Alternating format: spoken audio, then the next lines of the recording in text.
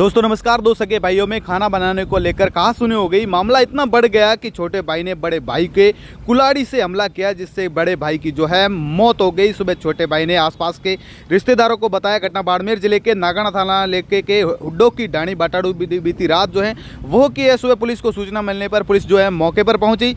Police ने आरोपियों भाई को जो है वो पकड़ लिया है। वही घटना स्थल पर जो है एफएसएल टीम को बुलाकर सबूत जो है वो जुटाए है। वहीं आज जाँच पड़ताल जो है वो शुरू कर दी है। पुलिस के अनुसार बाटाड़ उडो की डाणी गंगावास गाँव निवासी रेवताराम व भोमाराम व पुत्र पूर्णिमाराम दोनों सगे भाई जो हैं, वो साथ में रहते थे। माता पिता की कई साल पहले जो है, मौत हो चुकी थी। गुरुवार की रात को दोनों भाइयों के बीच में जो है, खाना बनाने को लेकर जो है कहा सुनी हो गई। कहा सुनी इतनी हो गई कि दोनों के बीच झगड़ा जो है, वो शुरू हो गया। मामला इतना बढ़ गया कि छोटे भाई ने सो रहे बड़े भाई, बोमाराम को जो है कुल्लाड़ी से वार कर दिया। इससे उसकी जो है मौके पर ही मौत हो गई। आरोपी भाई ने बॉडी को उठाकर जो है बाथरूम बना हुआ था, उसके अंदर जो है वहाँ पर छुपा दिया। सुबह आसपास के ग्रामीणों और रिश्तेदारों को खुद ने ही जो है उनको जानकारी दे दी कि उसके बाद जो है सूचना मिलने पर नागाना थाना पुलिस जो है करीब नौ बजे जो है वो पुलिस मौके पर पहुँची। नागाना थाना अधिकारी जमील खान ने बताया कि सुबह करीब नौ बजे सूचना मिली थी कि उड्डो की डाणी में दो सगे भाइयों में झगड़ा हुआ। एक भाई ने बड़े भाई को जो है कुल्लाड़ी से वार करके मार दिया। घटना स्थल पर पहुँचे।